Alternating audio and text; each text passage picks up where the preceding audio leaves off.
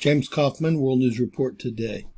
JPL, the Jet Propulsion Laboratory, has just released information on the newly discovered near Earth object or space rock, i.e., meteor, inbound for a very close pass between Earth and the Moon, hopefully on October 22nd.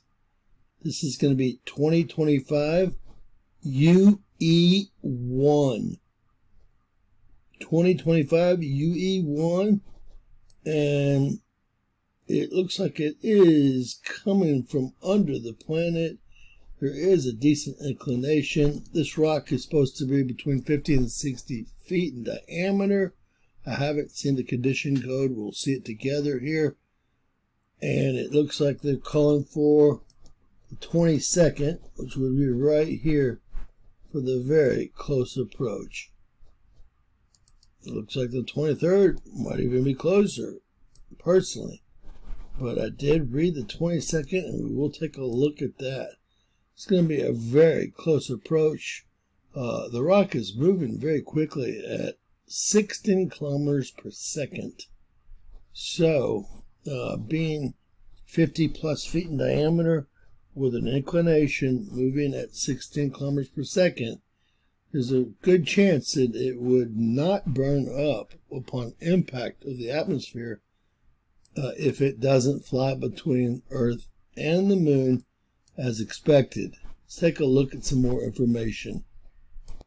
Taking a look at our orbit parameters over here, solution dates today, October 19th, Total observations, only 16 observations. Scary stuff. Data arc spanned four days. Why only 16 observations in four days?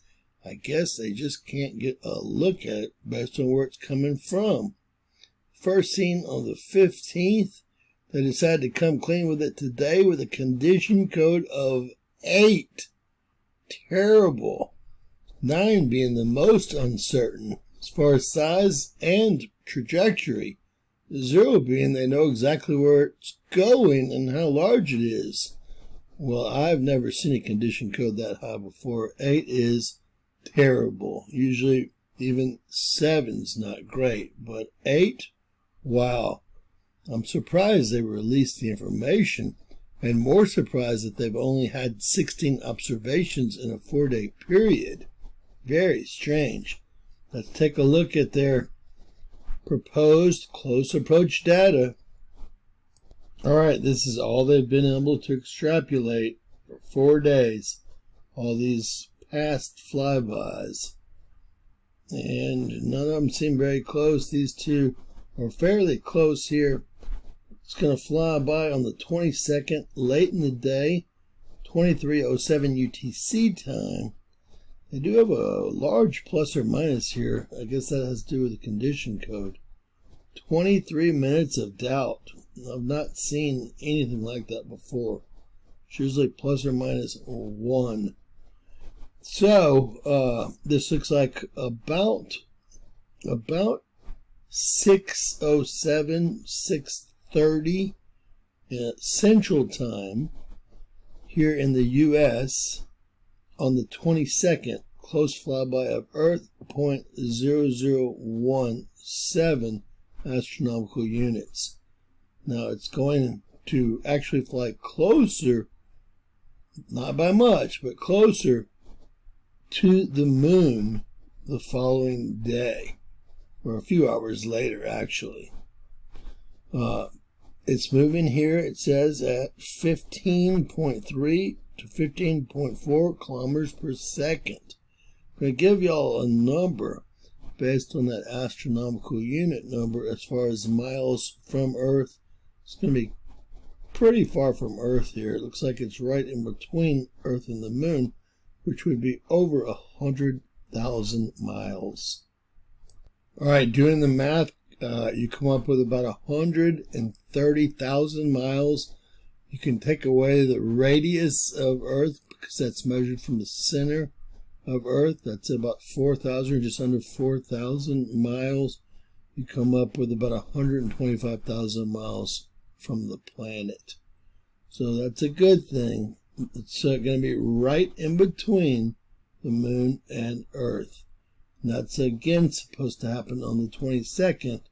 Of course, what bothers me is the condition code of 8.